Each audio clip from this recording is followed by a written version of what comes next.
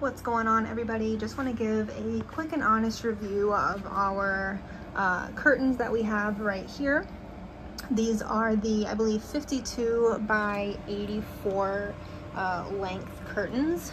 And this is the ivory cream color that I went with. Um, I chose this color to actually match my bed sheets right here, which are uh, cream. And I'm really happy with these curtains. They actually have a really nice, like soft, almost kind of like a suede feel to them and they're really nice quality. Uh, the stitching is really nice as well and they do have the metal rings at the top so it's super easy to just slide these over and then open it up. I'm just trying to do it with one hand here.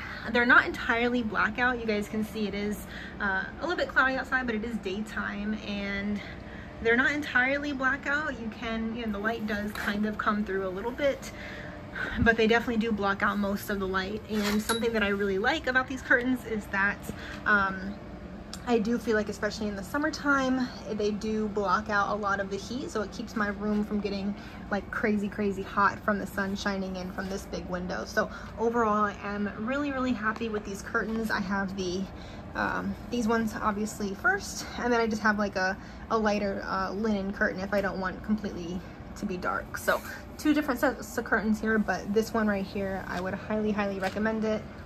Great quality, and it definitely complements the tones of the room.